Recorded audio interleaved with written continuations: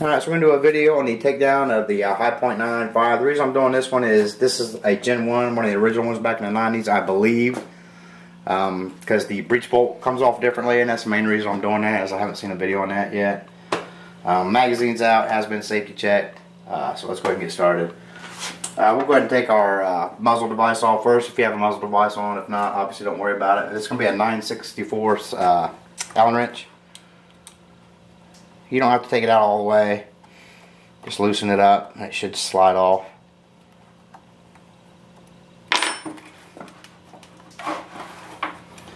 Okay, there's that. Uh, next we'll take our front sight post off, which is going to be uh, 564 Allen wrench. And again, we don't have to take the, uh, the Allen screws out. We can just loosen it.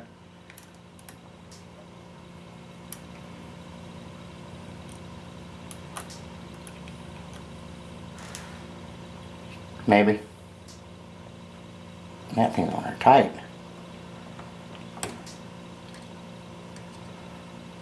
So we just loosen those up. And pop off our front sight. There's that. Uh, next our, our heat shield will come off. Just make sure you slide it forward because these two tabs are going to be underneath your receiver cover right here. There's two tabs, slide underneath that receiver cover. Just make sure you pull it forward and don't bend them out.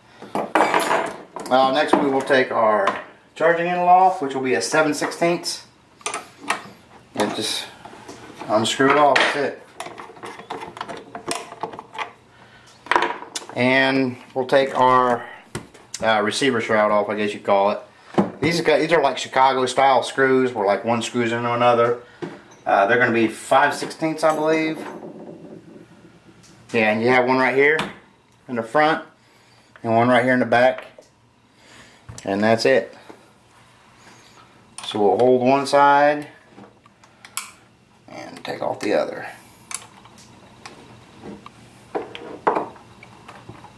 Oh, I think that's turning over there. I don't have it on there, do I? There we go.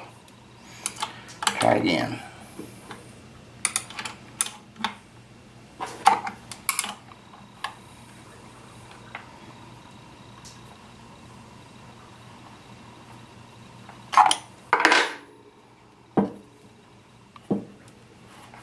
It goes. Like I said, it's like the Chicago style. It screws in like that. And same, same with the back here. Same size, 5 16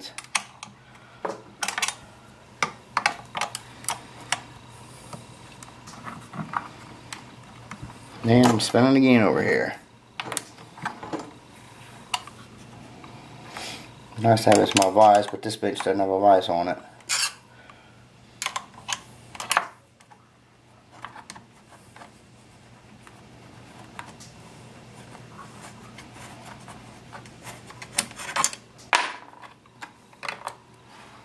And our receiver shroud should just lift right off. Uh, next we'll take the stock off which should be one screw and a pin. I went ahead and took off my sling. This is my sling mount from here. You might have a screw here. It's just gonna, it's captured on the other side with a nut embedded in there. So you're just gonna unscrew that.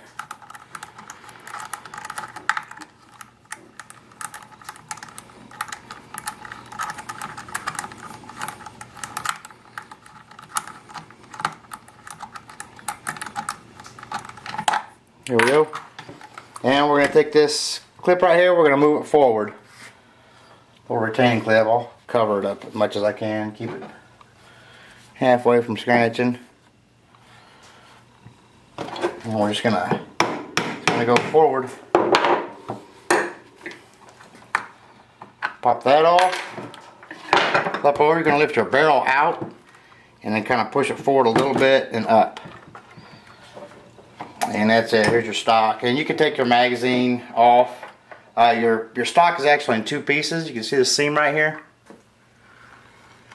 You got a couple clips right here and all, a bunch of screws in here. You can see them better over here if you wanted to split your stock in two. But anyway that's that in case you had something to do with your magazine release or something. We're not going to do all that. We'll just set that aside.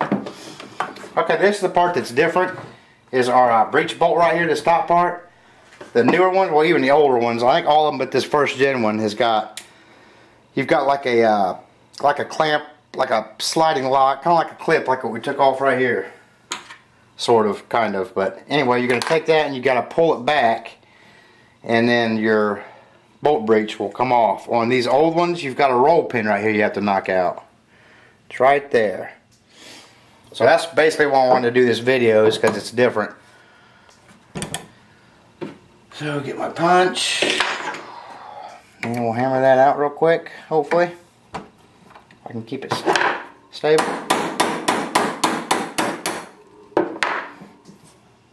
Come out all the way. It's coming. Alright, it went.